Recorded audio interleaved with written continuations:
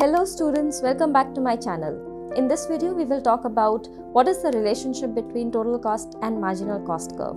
Very crucial concepts, very important concepts when it comes to understanding the overall productive efficiencies and costs and um, profit maximizations of the business or firms. So without wasting any time further, let's take a look at what is the relationship between TC and MC curves. For those who don't know what are the meanings of TC and MC curves, there's another video on my channel. You can take a look at that to understand what are the meanings of these uh, terms, right? So when we talk about total cost, it's basically the sum of all the expenses that are incurred by businesses during the production process. Marginal cost, on the other hand, would refer to the cost incurred for producing one additional unit of output. Now, when we talk about the relationship, the relationship could be understood through this schedule and these diagrams. So when we talk about the schedule, we have output listed in units and it goes upwards from 0 to 5. Total cost also tends to move upwards from 12 to 47 and marginal cost on the other hand has a weird behavior because it is falling down and then it tends to rise again. Now when we plot these numbers in this graph which is listed as 1 we will get a total cost curve somewhat like this. It should have an inverse um, S shape.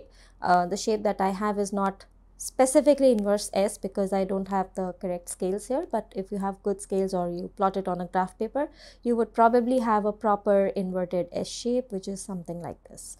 In the second panel which is this panel here we have the marginal cost curve plotted here with the help of these figures. So all we have done is we've plotted these numbers and joined the dots and here the marginal cost curve has arrived. The first thing that we need to see is that the total cost is increasing or rising right from the beginning whereas marginal cost initially falls and then it rises. The same is depicted in the curve. We see the curve rising upwards whereas marginal cost curve falling and then going upwards. So when we see that the total cost is increasing at a diminishing rate, which is basically these segments, we see that the marginal cost is declining as well. Numerically, it is very, very much evident. However, when we look at the diagrams, that also is very much evident. So total cost is rising.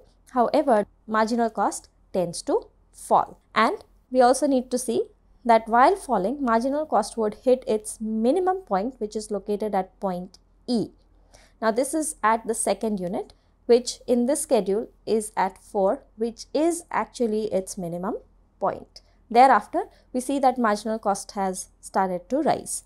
So that's the third thing that you need to remember here.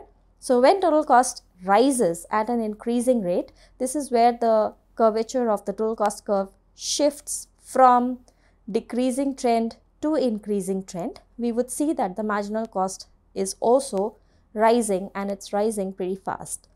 So this is how you would study the relationship between total cost and marginal cost curves.